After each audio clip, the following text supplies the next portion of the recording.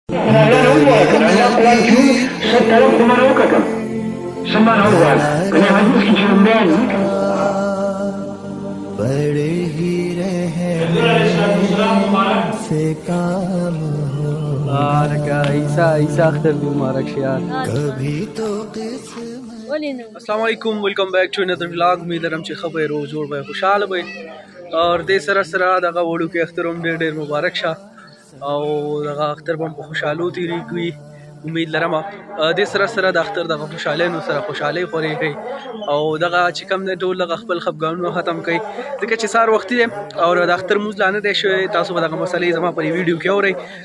ان شاء الله چې دغه اختر موز کو دغه نروستو بیا نور غپونه لګو سیدا چرته مونږ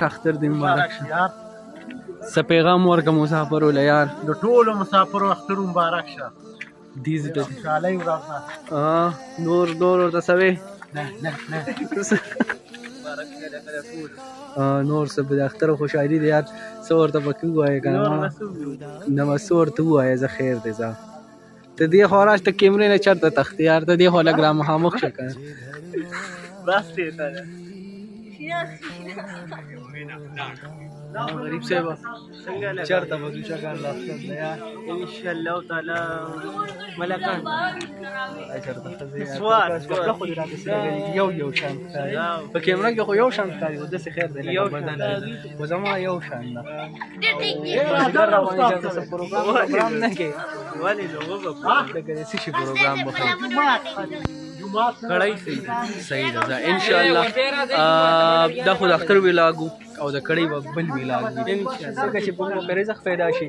او دغه به مو شي او باقي زه د سکار کو کنه چې ورج بو تر او هغه به ورته خو خو هدا دا بالکل دغه د اختر یو ورکه شان ویلاګ ځکه چې هر سړی مصروف ډیر زیات خبرې ورسره ونی شي خو بل یو میسج دا دی چې اختر کې اکثر خلک دغه چکرو لذي نو کوشش وکړئ څومره هم زموږ دغه کشران چکرو لذي په بایک باندې زی په هر څه باندې زی دغه د ون ویلینګ نه ځان ډیر زیات وساتي ځکه چې اخترونو کې رش ډیر زیات وي نو ولی